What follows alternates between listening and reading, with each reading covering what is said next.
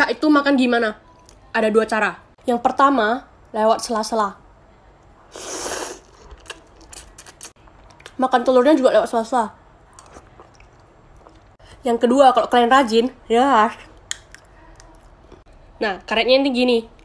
Habis itu makan lagi. Kalau udah selesai makan, dipasang lagi.